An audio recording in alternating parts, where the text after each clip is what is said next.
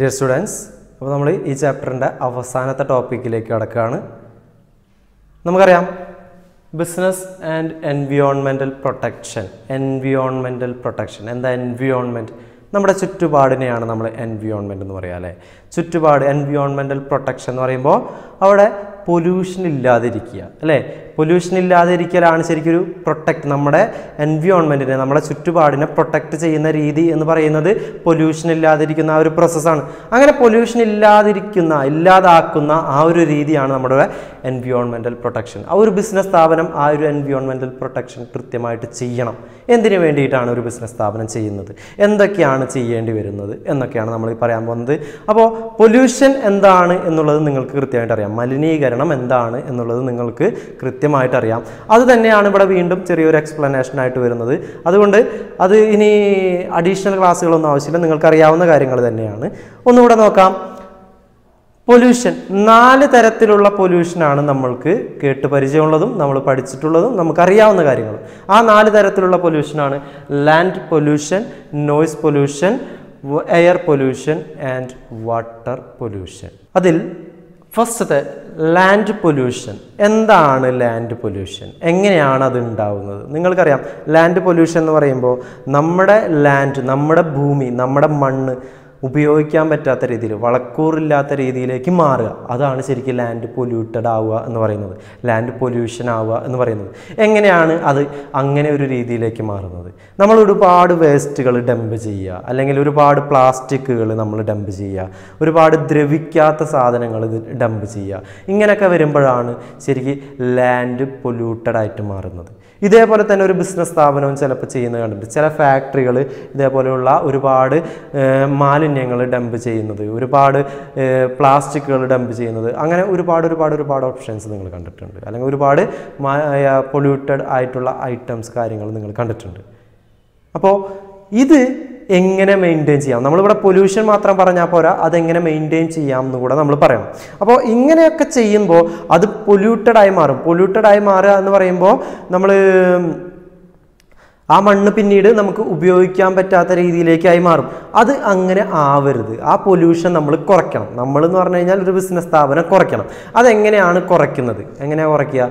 അവർ ഈ കാണുന്ന മാലിന്യങ്ങളൊന്നും അവിടെ ഇവിടെ ഒന്നും ഡംപ് ചെയ്യാതെ കൃത്യമായി ഒരു കുഴി എടുത്തുകൊണ്ട് ആ കുഴിയിലേക്ക് ഈ സാധനങ്ങൾ ഡംപ് ചെയ്യുക. അതുപോലെ കൃത്യമായിട്ട് സാധനങ്ങൾ കത്തിച്ച് കളയുക. അതൊക്കെയാണെങ്കിൽ പൊല്യൂഷൻ കുറേയൊക്കെ കുറയ്ക്കാനായിട്ട് നമുക്ക് പറ്റും. കുറേ കുറയ്ക്കാൻ പറ്റുള്ളൂ കേട്ടോ ഒഴിവാക്കാൻ നമുക്ക് പറ്റില്ല. അതേപോലെ പ്ലാസ്റ്റിക് ഒക്കെ ഉണ്ട്. ഈ പ്ലാസ്റ്റിക് അങ്ങനെ തന്നെ ഡംപ് ചെയ്യാതെ റീയൂസ് ചെയ്യുക. അത് വീണ്ടും ഉപയോഗിക്കുക. വീണ്ടും ഉപയോഗിക്കുക എന്ന് പറഞ്ഞു കഴിഞ്ഞാൽ ചിലപ്പോൾ അതിൽ നിന്ന് വേറെ പ്രൊഡക്റ്റുകൾ ഉണ്ടാക്കാൻ പറ്റും. ആ പ്ലാസ്റ്റിക് ഉപയോഗിച്ച് വേറെ പ്രൊഡക്റ്റുകൾ ഉണ്ടാക്കാൻ പറ്റും. വേറെ പ്ലാസ്റ്റിക് ഉപകരണങ്ങൾ ഉണ്ടാക്കാൻ പറ്റും. അങ്ങനെയൊക്കെ ചെയ്തു കഴിഞ്ഞാൽ നമുക്ക് ലാൻഡ് പൊല്യൂഷൻ നമുക്ക് കുറയ്ക്കാനായിട്ട് പറ്റും. അതൊരു ബിസിനസ് സ്ഥാപനം ചെയ്യണം. അതെന്തിനു വേണ്ടിയിട്ടെന്നുള്ളത് നമ്മൾ പറയാം. ഇനി അടുത്തതാണ് നോയ്സ് പൊല്യൂഷൻ എന്നുവെച്ചാൽ സൗണ്ട് പൊല്യൂഷൻ അല്ലേ? എങ്ങനെയാണ് ഈ സൗണ്ട് പൊല്യൂഷൻ ഉണ്ടാവുന്നത്? നമ്മൾക്ക് ശ്രവിക്കാൻ പറ്റുന്നതിൽ കേൾക്കാൻ പറ്റുന്നതിനേക്കാൾ കൂടുതൽ നമ്മൾ സൗണ്ട് കേൾക്കുക. അതായത് തേർട്ടി ഫൈവ് ഡെസിബലാണ് ഒരാൾക്ക് കേൾക്കാൻ പറ്റുന്ന ഏകദേശ ഒരു സൗണ്ട് വേരിയേഷൻ അതിൽ കൂടുതൽ സൗണ്ട് ഉണ്ടെങ്കിൽ നമുക്ക് കൂടുതൽ ഇറിറ്റേഷൻ സംഭവിക്കും കൂടുതൽ ഹെൽത്ത് ഹസാർഡ്സ് സംഭവിക്കും. എന്തെങ്കിലുമൊക്കെ പ്രശ്നങ്ങൾ സംഭവിക്കും. എന്തെങ്കിലുമൊക്കെ എന്താ പറയുക രോഗങ്ങളൊക്കെ ഉണ്ടാവാനുള്ള ചാൻസ് ഉണ്ട്. അത് ചെവിയിലെ സൗണ്ടിന് എന്തെങ്കിലും പ്രശ്നം വരികയോ ചെവിയുടെ ഉള്ളിൽ എന്തെങ്കിലുമൊക്കെ പ്രശ്നം വരികയൊക്കെയോ സംഭവിക്കാറുണ്ട്. ചില വണ്ടികളുടെ ഹോണുകൾ സൗണ്ട് ഹോൺ ചില ഹോണുകൾ ഭയങ്കര സൗണ്ടായിരിക്കും ചെവി കിജികിരാന്ന് പോകും അതേപോലെ തന്നെ ചില സിറ്റികളിലൊക്കെ പോയി കഴിഞ്ഞാൽ ഭയങ്കര സൗണ്ടായിരിക്കും അതേപോലെ ചില ഫാക്ടറിയുടെ മെഷീനറീസിന്റെ സൗണ്ട് ഇതൊക്കെ ഭയങ്കരമായിരിക്കും. അപ്പോൾ ഇതെല്ലാം ആണ് ശരിക്കും പറഞ്ഞു കഴിഞ്ഞാൽ ഒരു നോയിസ് പൊല്യൂഷൻ സൗണ്ട് പൊല്യൂഷൻ ഉണ്ടാക്കുന്ന കാര്യങ്ങൾ. ഈ സൗണ്ട് പൊല്യൂഷൻ ഒരു ബിസിനസ് സ്ഥാപനം കുറയ്ക്കണം. എന്തിനു വേണ്ടിയിട്ടാണ് സൗണ്ട് പൊല്യൂഷൻ കുറയ്ക്കുന്നത്? ഈ കാണുന്ന തരത്തിലുള്ള എല്ലാ ഹെൽത്ത് ഹസാർഡ്സും ഇല്ലാതിരിക്കാൻ വേണ്ടിയിട്ടാണ്. എങ്ങനെയാണ് ഒരു ബിസിനസ് സ്ഥാപനം? മറ്റുള്ള കേസ് കേസിലല്ല ഒരു ബിസിനസ് സ്ഥാപനം എങ്ങനെയാണ് സൗണ്ട് പൊല്യൂഷൻ കുറയ്ക്കുക? എങ്ങനെ കുറയ്ക്കുക? ഞാൻ പറഞ്ഞില്ലേ തേർട്ടി ഫൈവ് ഡെസിബലാണ് ഒരാൾക്ക് ശ്രവിക്കാൻ പറ്റുന്നതിന്റെ മാക്സിമം ലിമിറ്റ് അതിൽ കൂടുതൽ വന്നു കഴിഞ്ഞാൽ അയാൾക്ക് അസ്വസ്ഥതയാണ്. അപ്പോൾ ഈ കാണുന്ന അവിടെ യൂസ് ചെയ്യുന്ന ചില മെഷീനറീസ് ഉണ്ട്. ആ മെഷീനറീസ് ഒക്കെ നല്ല ടെക്നോളജി ഉള്ള മെഷീനറീസ് യൂസ് ചെയ്യുക ഇപ്പോൾ പണ്ടത്തെ കാറുകൾ പണ്ടൊരു ഒരു കാറ് നമുക്ക് അടുത്ത് കൂടെ പോയി കഴിഞ്ഞാൽ ചെവി മൂളും. ചിലപ്പോൾ അത്രയും സൗണ്ട് ആയിരിക്കും. ബോട്ട് പോണ സൗണ്ടൊക്കെ ആയിരിക്കും ചിലതിന്. പക്ഷേ ഇന്ന് അങ്ങനെയല്ല ഇന്നത്തെ എല്ലാ കാറുകളിലും കൂടുതൽ സൗണ്ട് അത് എടുത്തുകൂടെ പോണത് പോലും ചിലപ്പോൾ നമ്മൾ അറിയില്ല. അപ്പോൾ അതിന്റെ സൗണ്ട് കുറച്ചുകൂടെ ഒരു ഹൈ ടെക്നോളജി ഉപയോഗിച്ച് തുടങ്ങി. അതേപോലെ തന്നെ ഹൈ ടെക്നോളജി ഉപയോഗിക്കുന്ന മെഷീനറീസ് സൗണ്ട് കുറച്ചിട്ട് ഉപയോഗിക്കാൻ പറ്റുന്ന മെഷീനറീസ് അതൊക്കെ ഉപയോഗിക്കുക ഒരു ബിസിനസ് സ്ഥാപനം ഉപയോഗിക്കുക. അങ്ങനെ ഉപയോഗിച്ച് കഴിഞ്ഞാൽ അവിടെ എന്ത് കുറയ്ക്കാൻ പറ്റും? നോയിസ് പൊല്യൂഷൻ കുറയ്ക്കാനായിട്ട് പറ്റും. നെക്സ്റ്റ് എയർ പൊല്യൂഷൻ എന്താ എയർ പൊല്യൂഷൻ നമ്മൾ ഈ ഗ്ലോബൽ വാർമിംഗ് എന്നൊക്കെ കേട്ടിട്ടുണ്ട് അല്ലേ ആഗോളതാപനം എന്നൊക്കെ കേട്ടിട്ടുണ്ട്. എന്താണ് ഈ ഗ്ലോബൽ വാർമിംഗ് ഓസോൺ പാളിയിൽ വിള്ളൽ വരിക. ഓസോൺ പാളിയിൽ കേട്ടോ ഓസോൺ പാളിയിൽ വിള്ളൽ വരിക അതേപോലെ ഓസോൺ പാളി ഹോൾ സംഭവിക്കുക എന്നൊക്കെ പറഞ്ഞു കഴിഞ്ഞാൽ അതെങ്ങനെയാണ് സംഭവിക്കുന്നത്? ഈ തരത്തിലുള്ള നമ്മളുടെ ഇതേപോലെയുള്ള ഒരുപാട് വാഹനത്തിൽ നിന്നും ഫ്രിഡ്ജിൽ നിന്നും എ സിയിൽ നിന്നും ഒക്കെ പുറന്തള്ളപ്പെടുന്ന C F C chloro fluoro carbon എന്ന് പറയുന്ന ആ ഒരു വാതകം ആ ഒരു ഈ കാണുന്ന വാതകം ശരിക്കും ഈ ഇതേപോലെയുള്ള ഓസോൺ പാളിക്കൊക്കെ ഒരുപാട് ഹോളുകൾ വീഴ്ത്താനുള്ള ചാൻസ് ഉണ്ട്. അപ്പോൾ ഇങ്ങനെയൊക്കെയാണ് എയർ പൊല്യൂട്ടഡ് ആവുക. അതേപോലെ തന്നെ ഫാക്ടറികളിൽ നിന്നൊക്കെ പുറന്തള്ളപ്പെടുന്ന പുക അതൊക്കെ കൂടുതലായിട്ട് ആ ഒരു എയർ പൊല്യൂട്ടഡ് ആവാനുള്ള ചാൻസ് കൂടുതലാണ്. അപ്പോൾ ഇത് എങ്ങനെ കുറയ്ക്കാം? എങ്ങനെ കുറയ്ക്കാൻ പറ്റും? ഒരു ബിസിനസ് സ്ഥാപനത്തിനെ സംബന്ധിച്ചിടത്തോളം എയർ പൊല്യൂഷൻ എങ്ങനെ കുറയ്ക്കാം? അവർ ചെയ്യേണ്ട കാര്യം എന്ന് പറഞ്ഞു കഴിഞ്ഞാൽ അവരുപയോഗിക്കുന്ന ടണലുണ്ടല്ലോ അവരുപയോഗിക്കുന്ന ആ ഒരു പുകക്കുഴലുണ്ടല്ലോ. ആ പുകക്കുഴൽ ഒരു ലിമിറ്റ് വിട്ട് മുകളിലേക്ക് ഉയർത്തി സ്ഥാപിക്കുക. അങ്ങനെ ഉയർത്തി സ്ഥാപിച്ചു കഴിഞ്ഞാൽ അവരിൽ നിന്ന് ആ ഒരു പുകക്കുഴലിൽ നിന്നുണ്ടാവുന്ന ആ ഒരു മലിനമായ അല്ലെങ്കിൽ പൊല്യൂട്ടഡ് ആയിട്ടുള്ള ആ എയർ കുറയ്ക്കാനായിട്ട് പറ്റും. അത്രയും മുകളിലേക്ക് പോകുമ്പോൾ പൊല്യൂഷൻ കുറയ്ക്കാനായിട്ട് പറ്റും എന്നാണ് പറയുന്നത്. അപ്പോൾ ഇത്രയും മുകളിലേക്ക് അത് സ്ഥാപിച്ചാൽ മതി. ഈ ടണലുകളും കാര്യങ്ങളും അങ്ങനെ സ്ഥാപിച്ചാൽ മതി. ഇനി ലാസ്റ്റ് വാട്ടർ പൊല്യൂഷൻ എന്താ വാട്ടർ പൊല്യൂഷൻ ജലം മലിനമാവുക അല്ലേ? ജലം റിവർ ആയാലും സീ കടലായാലും അതേപോലെ കുളങ്ങളായാലും ഇതെല്ലാം മലിനമാവുന്ന ഇതേപോലെ ഒരുപാട് സാധനങ്ങൾ ഡംപ് ചെയ്യുന്നത് ഫാക്ടറിയിൽ നിന്ന് മാലിന്യങ്ങൾ പുറന്തള്ളപ്പെടുന്നത് അതേപോലെ നല്ല വൃത്തികെട്ട എന്താ പറയുക മോശമായിട്ടുള്ള വേസ്റ്റ് വാട്ടറൊക്കെ ഡംപ് ചെയ്യപ്പെടുന്നത് ഒഴുക്കി ഒഴുക്കി കളയുന്നത് ഇതെല്ലാം ശരിക്കും ഒരു വാട്ടർ പൊല്യൂഷന് ഉണ്ടാവുന്ന കാരണങ്ങളാണ്. നമ്മൾ ഈ കാണുന്ന പ്രളയം വന്ന സമയത്ത് പ്രളയം വന്ന സമയത്തും കൊറോണ വന്ന സമയത്തൊക്കെ ഈ ശരിക്കും പറഞ്ഞു കഴിഞ്ഞാൽ നാച്ചർ കൂടുതലായിട്ട് അതായത് പ്രകൃതി കൂടുതലായിട്ട് അവർ തന്നെ സപ്പോർട്ട് ചെയ്തു അവർ തന്നെ റിക്കവർ ചെയ്തു എന്നൊക്കെ പറഞ്ഞുകൊണ്ട് ചില പോസ്റ്റുകളും വാട്സപ്പ് സ്റ്റാറ്റസുകളൊക്കെ നിങ്ങൾ കണ്ടിട്ടുണ്ടാകും. അതെന്ന് വെച്ച് കഴിഞ്ഞാൽ ഈ കാണുന്ന തരത്തിലുള്ള എല്ലാ വേസ്റ്റുകളും അവർ തിരിച്ച് ഡംപ് ചെയ്തു. തിരിച്ച് ഡംപ് ചെയ്തു എന്ന് പറഞ്ഞു കഴിഞ്ഞാൽ പ്രളയമുണ്ടായ സമയത്ത് നമ്മൾ ചില ഒരു എന്താ പറയുക ഞാൻ ഒരു പോസ്റ്റ് കണ്ടിരുന്നു. ഒരു പാലത്തിന്റെ അടിയിൽ നിറച്ച് പ്ലാസ്റ്റിക് വേസ്റ്റുകൾ നിറച്ച് അതെല്ലാ പ്ലാസ്റ്റിക് വേസ്റ്റുകളും ഒരുമിച്ച് തിരിച്ച് ഡംപ് ചെയ്തു. പ്രകൃതി തന്നെ ഡംപ് ചെയ്തു.